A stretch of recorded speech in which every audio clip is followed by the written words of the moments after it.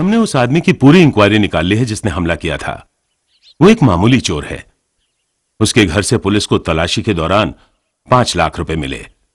उसके पास इतने पैसे कहाँ से आए? उसका हम इन्वेस्टिगेशन कर रहे हैं। जैसे ही कोई नई बात मालूम हुई, हम आपको इन्फॉर्म करेंगे। Okay mister Singhania bye ma'am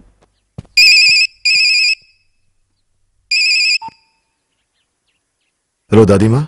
प्रिया के साथ इतना बड़ा हादसा हुआ और तुमने फ़ोन तक नहीं किया? मैंने सोचा आप लोग परेशान होंगे इसलिए तुम आज ही प्रिया को लेकर जयपुर आ जाओ।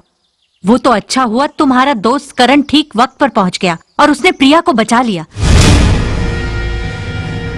करण?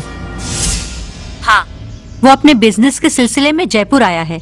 इस वक्त यही है। एक मिनट। करण? जी। इधर आओ। राज से बात करो। राज? हेलो राज? अरे यार कैसे हो तुम? प्रिया कैसी है? तुम वहाँ क्या कर रहे हो? अरे मैंने तुमसे वो बिज़नेस की बात की थी ना। उसी के सिलसिले में आया हूँ। तुम जयपुर आ रहे हो ना? ठीक है मैं आ रहा हूँ। आ रहा